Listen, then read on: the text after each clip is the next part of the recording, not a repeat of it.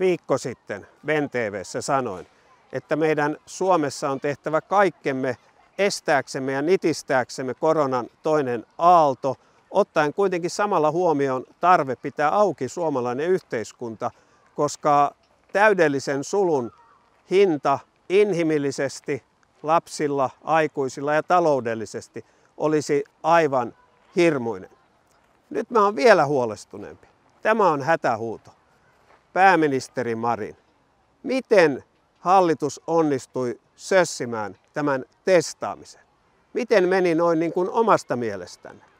Kenet syksy yllätti? On ihan turha sanoa niin kuin pääministeri A-studiossa, että emmehän me ministerit niitä testejä tee. Kyllä ne sairaanhoitopiirit ja kyllä ne kunnat tekevät juuri niin kuin hallitus ohjeistaa. Tehkää kaikkenne, että tämä testaaminen saadaan kuntoon. Käyttäkää yksityistä sektoria. Palkatkaa lisää väkeä, maksakaa vaikka lisää liksaanille terveydenhoidon ammattilaisille, että heidät saadaan testaamistyöhön. Tämä on elintärkeää tällä hetkellä. Sitten tämä matkailijoiden asettaminen todelliseen karanteeniin. Ministeri Kiuru on saanut paljon kritiikkiä, pilkkaakin siitä, että hän maanantain tiedotustilaisuudessa sanoi, että ne ihmiset, jotka tulevat lomamatkalta riskimaista, laitetaan todelliseen kahden viikon karanteeniin. Okei, hän ilmaisi itsensä epäselvästi, kuten aina, ja hän myös oikoi vähän juridiikan mutkia. Mutta minä nostan hattua ministeri Krista Kiurulle, sillä hän nosti kissan pöydälle ja sai hallitukseen vauhtia.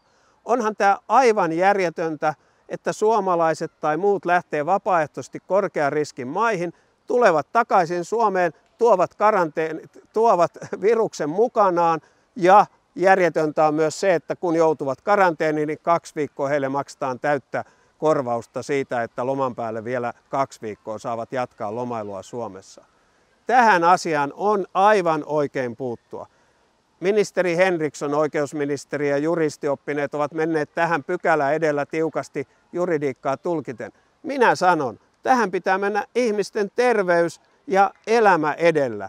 Ja jos ei juridiikka nykyisellään salli riittävästi tällaisten lomamatkailijoiden laittamista karanteeni, niin muutetaan sitten pykäliä. Totta kai eri rajoilla, maarajoilla, vesirajoilla ja lentokentillä tilanne on vähän toinen.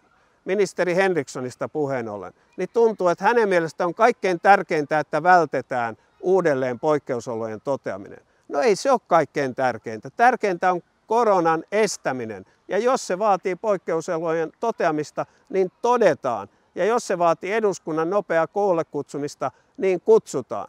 Tällä mennään. Moi.